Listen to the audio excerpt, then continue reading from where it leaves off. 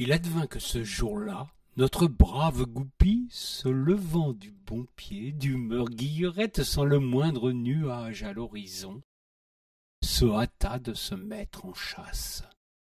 Une bonne traque vous ouvre l'appétit, tandis qu'il n'est rien de plus agréable que de courir le campagnol dans une campagne verdoyante.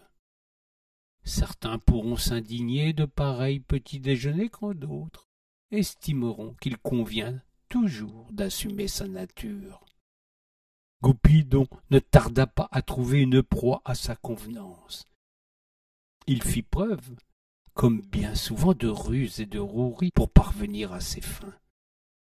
Le petit rongeur n'ayant que fort peu de chance d'échapper à son triste destin, Campagnol pourtant mit les gaz et prit ses petites pattes à son cou pour échapper au sort qui lui était promis.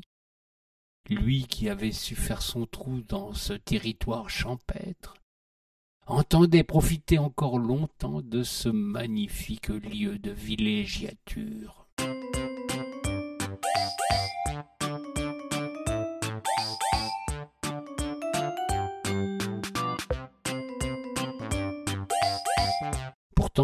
Dans sa course effrénée vers une issue de secours, il perdait du temps et du terrain sur son poursuivant. Il en était à devoir se résigner à la perspective d'une mort peu glorieuse, quand dans un sursaut de désespoir, alors que Renard ouvrait grand sa gueule, il projeta un petit caillou sur son prédateur.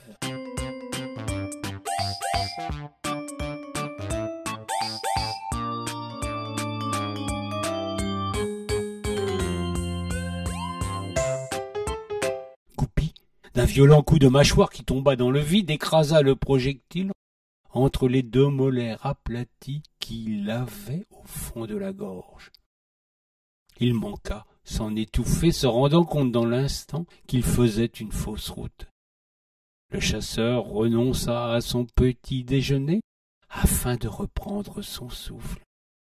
Il rentrait la queue basse pour regagner l'arbre creux où il avait élu domicile, quand il fut saisi d'une violente douleur dentaire.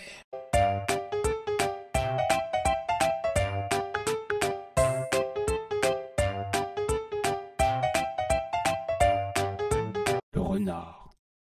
La chose peut prêter à confusion était la malheureuse victime d'une terrible rage de dents. Il lui fallait consulter dans l'instant une personne de confiance il avait appris que non loin de son repère, dans le village tout proche, vivait un pasteur. L'animal fit alors terrible et fâcheuse confusion entre le berger des âmes et le biologiste, qui fit la mauvaise réputation de ceux de sa race. Les approximations sont légion chez les renards aussi.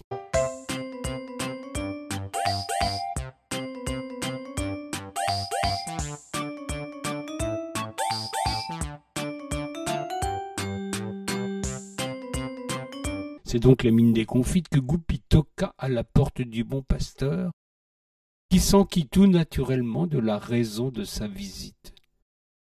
L'homme étant des plus hospitaliers, voulut offrir à boire à son visiteur une bière, tout naturellement puisque nous étions en Alsace.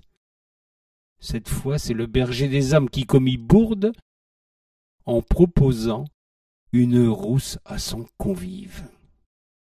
Goupy en eut une dent contre ce maladroit hôte.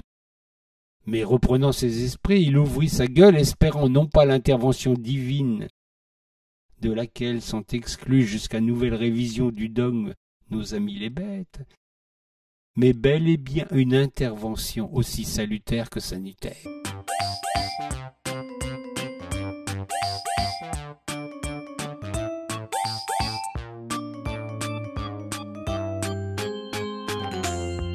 De se récrier devant pareille sollicitation. Que dirait-on de lui si on apprenait dans le bourg qu'il avait soigné un animal réputé nuisible et fort mal vu des chasseurs de l'endroit? Le brave homme confia à Goupy qu'il ne souhaitait pas que ses parassiens bavent à son propos suite à une intervention qui lui serait vertement reprochée. Se piquant pourtant d'humanisme, le bon pasteur offrit un cachet d'aspirine à son visiteur pour calmer la douleur et lui laisser le temps de consulter un professionnel de la chose.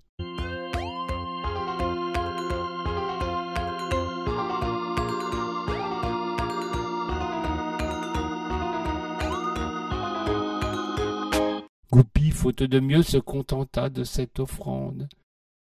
Bien décidé à consulter le vétérinaire le plus proche, puisque désormais il savait à qui s'adresser grâce au bon conseil de l'homme du temple. Il s'en alla en quête de ce professionnel, mais hélas. Il ignorait qu'il vivait dans un désert médical, sa requête demeura stérile, il s'y cassa justement la dent qui le faisait souffrir. C'est ainsi que sans rien coûter à la sécurité sociale des animaux, il venait de régler son problème, ne disposant désormais plus que de quarante et une dents.